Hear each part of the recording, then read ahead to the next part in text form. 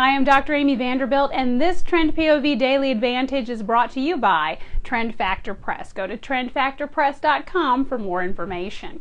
We're talking this week about emerging alliances and capabilities in the Southern Hemisphere. Today's tip when seeking strategic partnerships, avoid countries likely to succumb to unhealthy alliances. How do you know the difference? Let's take a look. Countries that are likely to succumb to unhealthy alliances include those with economic hardship, major resource needs, and a desire for short term opportunity. So remember, when seeking those strategic partnerships, avoid countries likely to succumb to those unhealthy alliances. Keep it right here all week as we show you how. And for more Trend POV Daily Advantage, go to trendpov.com.